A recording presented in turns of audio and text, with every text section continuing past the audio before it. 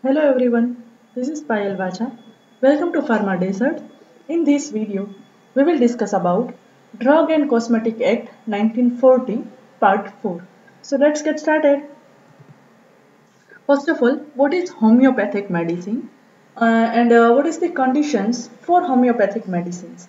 First of all, a license that is required for manufacturing of homeopathic medicines as well as license that is obtained from licensing authority on application in prescribed forms 24C and 25C with prescribed fees Rs 200 and 150 for homeopathic mother tincture. So uh, in homeopathic medicine, first condition license that is necessary. Second one license that is obtained from licensing authority with uh, or by filling the form number 24C and 25C and paid a fees that is around 200 150 for homeopathic mother tincture. So manufacturing of homeopathic medicines it should be carried out in hygienic schedule M1 conditions under the supervision of competent technical staff that having so manufacturing of homeopathic medicine uh, that should be carried out in any hygienic condition according to schedule M1 and uh, that is uh, also manufacturing that is done or under the supervision of technical staff which having the qualification. So which type of qualification that is required for uh, supervision of uh, manufacturing of homeopathic medicine? First one a graduate in science with chemistry with three year experience in manufacture of homeopathic medicine or a graduate in pharmacy with 18 months of experience in the manufacture of homeopathic medicine. So first one uh, or a first qualification graduate in science with chemistry with 3 year experience in manufacturing of any homeopathic medicine. So uh, graduate in science uh, with chemistry and 3 year experience that is necessary for manufacturing of uh, any homeopathic medicine. Otherwise uh, second qualification that is graduate in pharmacy and uh, that contain 18 months of experience in the manufacturing of any homeopathic medicine. So first one graduate in science with chemistry, otherwise graduate in pharmacy with uh, 18 month experience that is required for manufacturing of any homeopathic dosage form. The premises it should be uh, according to schedule M1 so sterility it should be maintained according to good manufacturing practice and adequate uh, storage space that is required for storage of finished product, raw material, uh, etc. Inspector should allow to inspect the premises and uh, take a sample of drug. If uh, inspector uh, allow to uh, inspect premises and if he want any type of sample, so you give sample to the sample of drug to inspector. Inspection book it should be maintained as well as adequate facilities uh, that is required for crude drugs as well as solid and uh, alcoholic content. So adequate or extra facilities that is required for storage of any crude material, any solid and uh, alcoholic content as well as separate unit required for manufactured product. So separate uh, or a store area, storage area that is required for manufactured product as well as no color it shall be added in any homeopathic medicine. So homeopathic medicine doesn't contain any type of color and record of cells it should be maintained. Second one, uh, in cosmetics, uh, what are the conditions for cosmetics uh, manufacturing? First one, a license that is required. Second one, uh, license or what is the procedure for manufacturing of cosmetic license that is obtained from licensing authority and uh, by filling the prescribed form number 31 and 32 and by paying the fees that is around 200 2500 and uh, 1000 rupees fees. And rules and condition that is applicable to the licensees that is granted for the manufacturing of allopathic drugs and that are applicable to the cosmetics as well. So in cosmetic uh, first step or first condition that is license that is necessary. Second one that is license that is obtained from uh, or what is the procedure for manufacturing of cosmetic a license that is obtained from licensing authority by uh, filling a form number 31 and 32 and by uh, paid a fees that is uh, 2500 and 1000 and rules and all the conditions that are um, already applicable to the licenses that are granted for the manufacturing of allopathic drug and that are also applicable for cosmetics also. So the factory premises, it should be clean and it should be situated in uh, any hygienic conditions and separated from a residential area. So factory premises or a plant, it should be uh, clean as well as uh, that is uh, situated in uh, any hygienic conditions that is situated in any hygienic area surrounding and that is separated from a residential area also. So manufacturing under the supervision of competent technical staff but having the qualification. So manufacturing of cosmetic that is uh, done under the supervision of any technical staff and that have a qualification like a diploma in pharmacy. Otherwise diploma in pharmacy that is not possible. So uh, second one is uh, that is act as a registered pharmacist or third qualification is intermediate exam passed with chemistry. So all are the qualification that is required for manufacturing of cosmetics. Second one prohibition. What is prohibition? Manufacture of following classes of cosmetic, it should be prohibited. Uh, which type of uh, cosmetics it should be prohibited uh, during manufacturing? First one, cosmetics that containing hexachlorophene or mercury compound.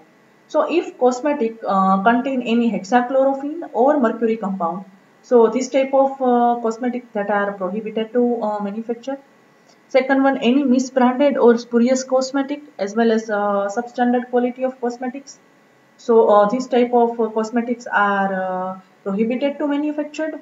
And last one, cosmetics that containing colors which contain more than 2 ppm of arsenic, 20 ppm, uh, 2 ppm of arsenic and 20 ppm of leads.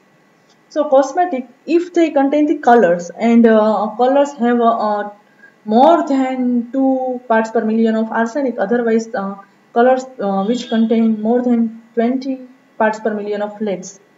So uh, that are prohibited to manufacture. What is the uh, penalties related to manufacturing?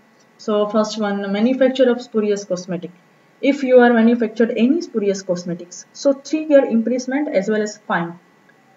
that is given by uh, authorities. Second one, uh, contravention of provision.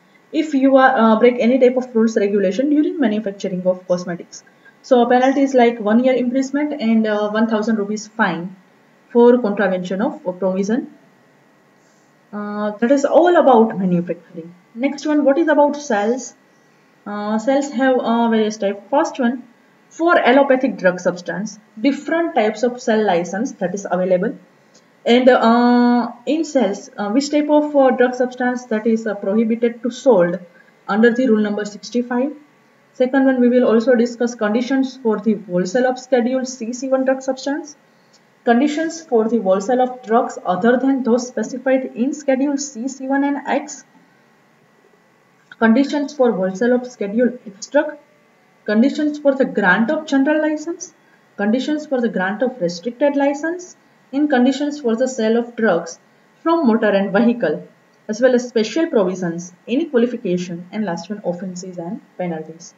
So, uh, first of all, for allopathic drug product, types of cell license that have three types. Uh, which one? First one, wholesale, retail sale, and third one, cells from motor vehicle uh, that means uh, from vendors so uh, in wholesale uh, main three types drug that is specified in schedule x drug that is specified in schedule c and drug uh, other than c c1 and x. Second one uh, for retail cell. retail cell have two types. Which one? General license and restricted license. So general license have a three subtype. Drug that is specified in schedule x drug that is specified in schedule uh, C1, CC1 and a drug other than CC1 and X. While retail cell have second class or second type that is restricted license and uh, restricted license that have two types drug other than CC1 and X and for schedule CC1.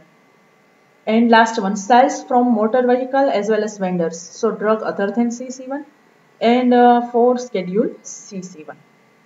That is all about types of cell license, particularly for allopathic drug product.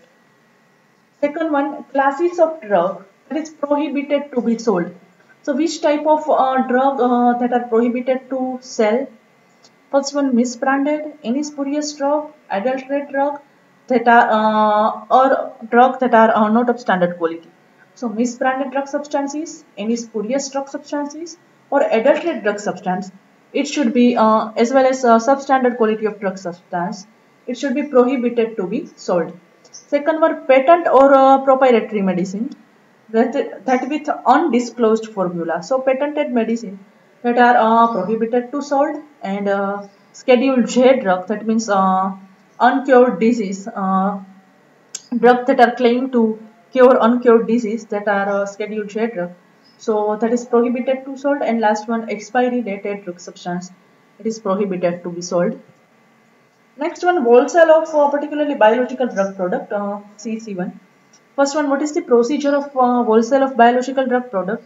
License that is obtained from licensing authority on the application in prescribed form number 19 with prescribed fees that is around uh, 1500. So what is the procedure for wholesale of biological product? First one, license that is obtained from licensing authority by uh, filling form number 19 and uh, prescribed on and by paid a prescribed fees that is around 1500 and if all the conditions that are fulfilled then license that is issued in form number 21b so if all the conditions that are fulfilled and licensing authority satisfied and then after license that is issued in form number 21b so what was the conditions it should be maintained? First one adequate premises with greater than 10 meter square area with proper storage facility. So adequate premises or adequate place uh, with greater than 10 meter square area that is required for, for proper storage facility. Second one, drug it should be sold only to retailer that having a license. The drug should be sold onto uh, only to that type of uh, retailer that have the license of uh, biological drug product. Second one, premises should be in charge of competent person who is a registered pharmacist so any place or a manufacturing plant, uh, it should be uh, in charge of any competent person. So uh, who is the responsible person? Uh, who is a responsible person? That is a registered pharmacist. That is act as a responsible person in uh, any plant. As well as record of purchase and sale, it should be maintained. And uh, record of sale as well as purchase, it should be preserved for three years from the date of sale. So record that is maintained from uh, maintained for three years from the date of selling and uh, license it should be displayed on uh, premises. So license it should be displayed on entrance of premises. Second one uh, that is all about wholesale of biological drug product CC1. Second one wholesale of other than those specified in schedule CC1 and schedule X. So what is the procedure?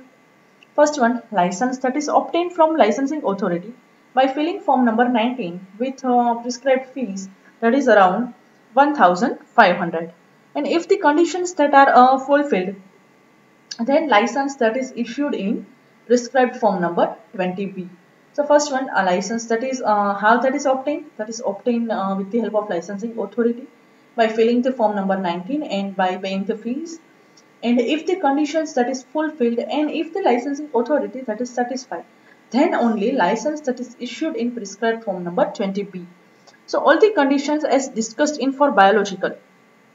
So uh, biological conditions all the conditions that is discussed in biological that are same in case of uh, other than cc1 and x and remaining conditions like compounding that is made by or under the direct and personal supervision of qualified person so first one, compounding that is done with the help of or uh, that is made by or under the direct as well as personal supervision of any qualified person. So compounding that is done with uh, direct supervision of any qualified person in case of other than CC1 and X. Second one, uh, wholesale of schedule X drug substance. If uh, narcotic drug substance uh, you are selling, so uh, what is the procedure for selling of narcotic drug substance and uh, what was the uh, condition to maintain for wholesale of Schedule X drug substance. First one, uh, procedure. License that is obtained from licensing authority on application in prescribed forms 19C with prescribed fees rupees 500. So uh, in first step or uh, in procedure, license that is obtained from licensing authority by filling form number 19C and by paying the fees rupees 500. And if the conditions that is fulfilled and if licensing authority that is satisfied, then only license that is issued in a prescribed form number 20G. So application form number that is 19C and if licensing authority that is satisfied, then uh, that is license that is issued in form number 20G. So what is the condition of uh, uh, conditions for the wholesale of scheduled extract substances or uh, wholesale of narcotic drug substance?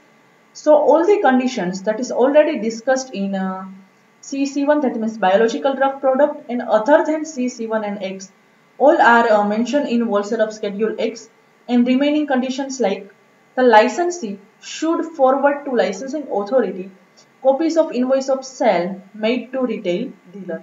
So uh, in condition, first condition, all the conditions that is already mentioned in uh, biological drug product as well as other than CC1 and X uh, all are same in case of wholesale of scheduled X drug substance. Remaining one is licensee or applicant they directly forward its uh, invoice of sale to licensing authority.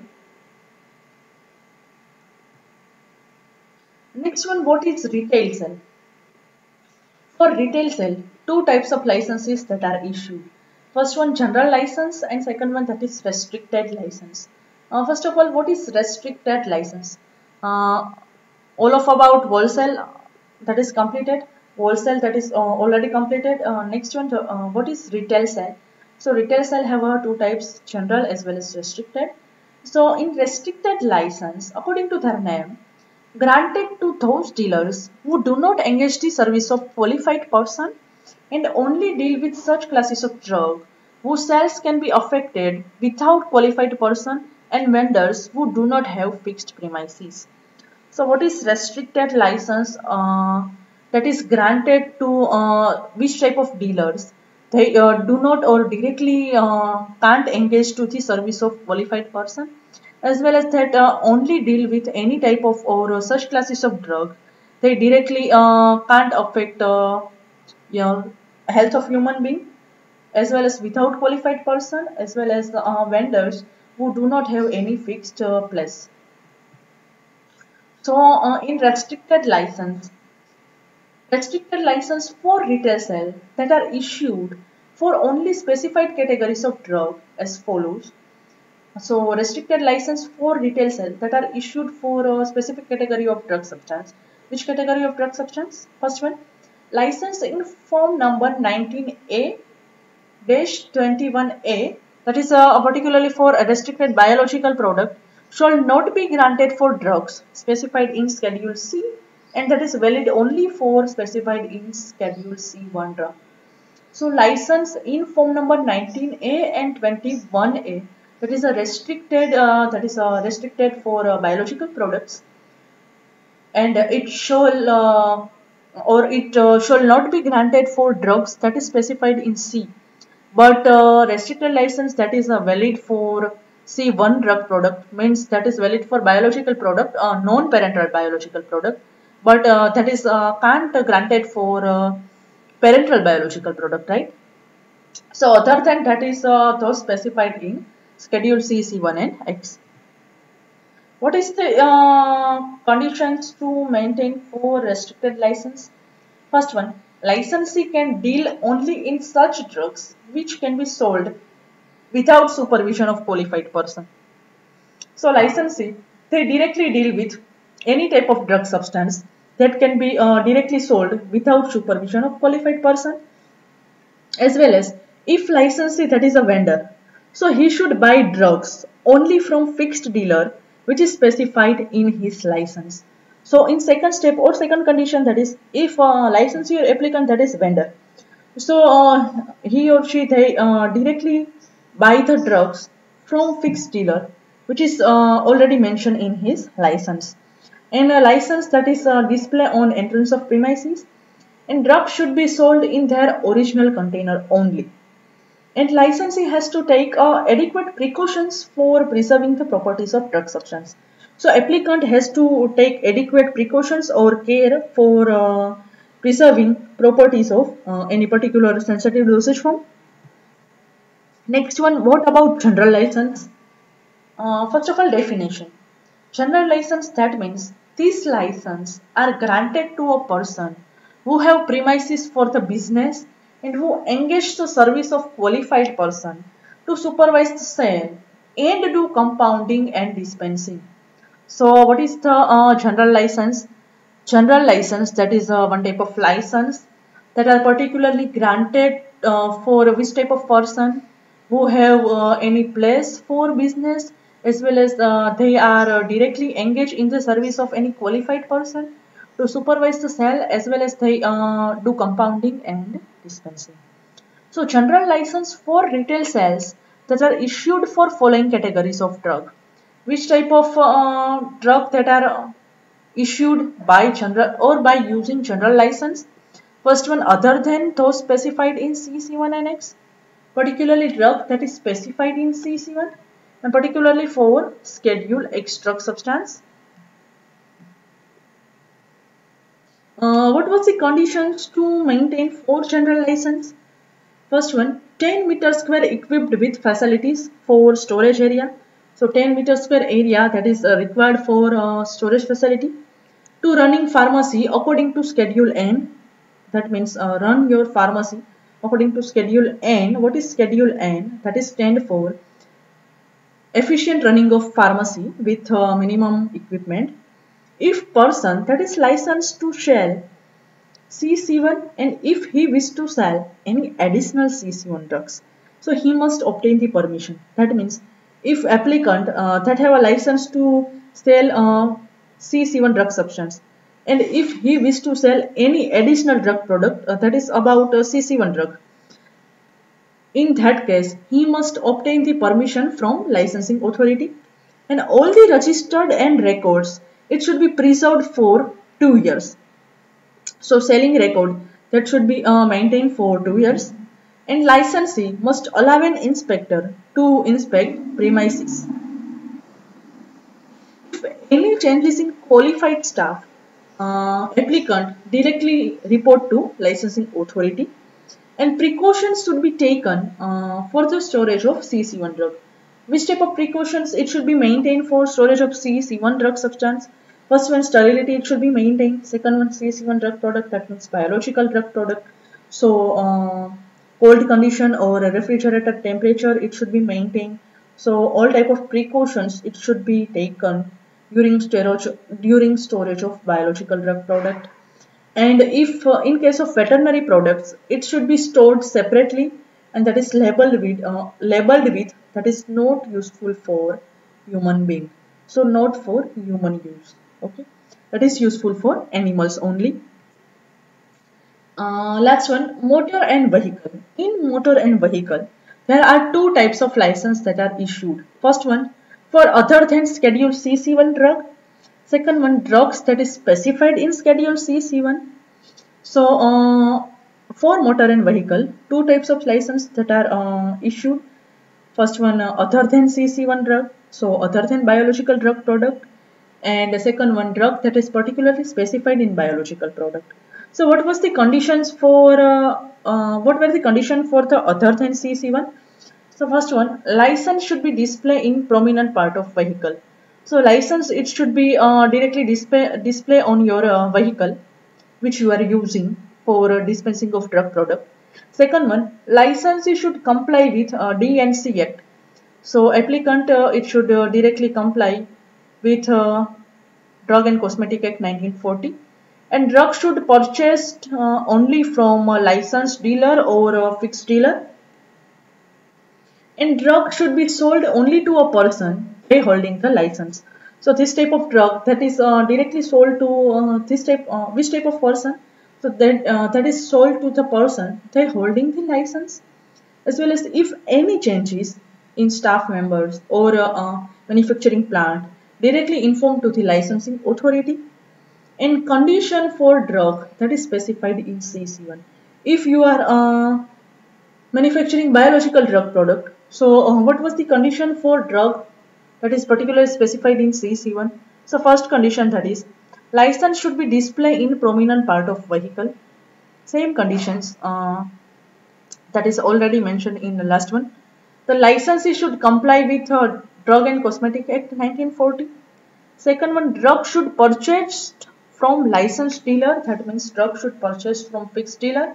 And if any changes, uh, applicant directly informed to licensing authority and precautions it should be maintained during storage and it should be observed properly.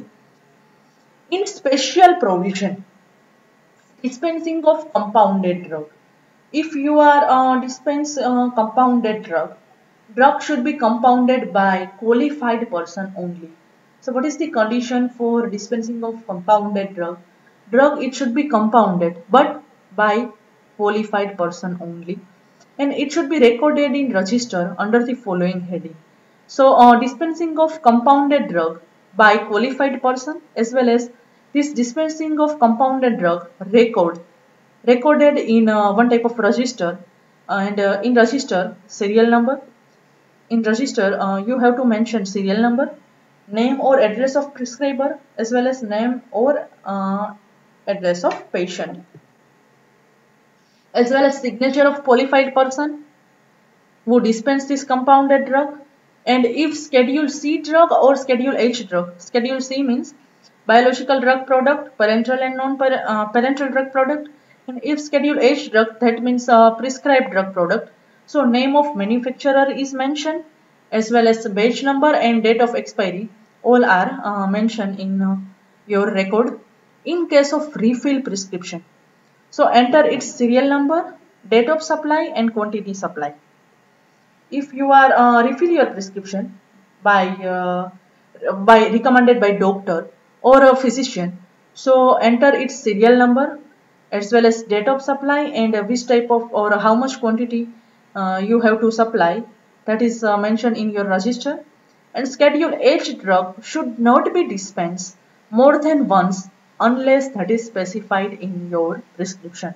So if schedule H drug uh, you have to sold or dispense. It, it should be uh, dispensed not more than one time.